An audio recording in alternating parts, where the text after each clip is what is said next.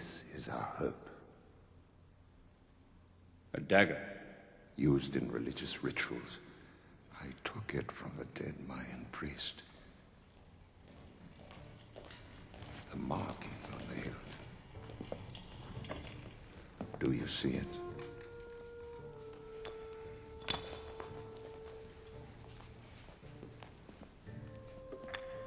It is a map.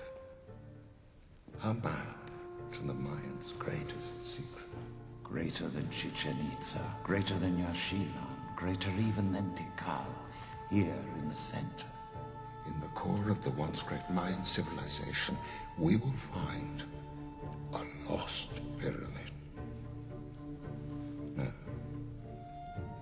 Not lost. Hidden.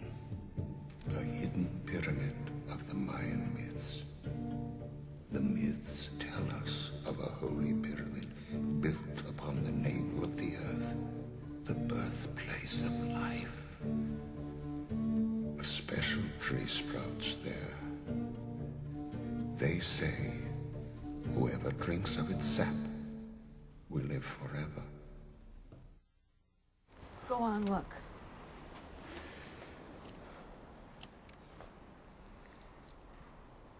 Hmm. You see it? The gold star? It's actually a nebula wrapped around a dying star. That's what makes it look gold. What? I took science. When?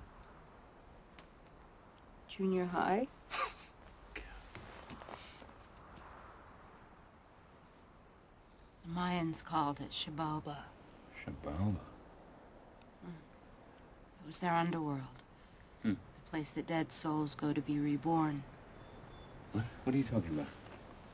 My book. I'm writing about it. I thought it took place in Spain. Begins there. Ends there. Perhaps a trap. It is. Then what do we do? We break through.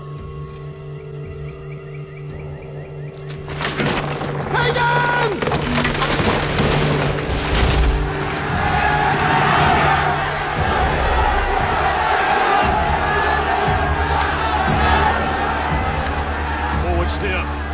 Retreat! No! Do not stop!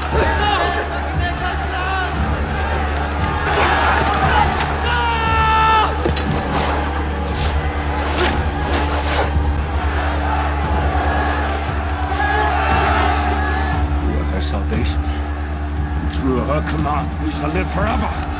I will not die. Not here. Not now.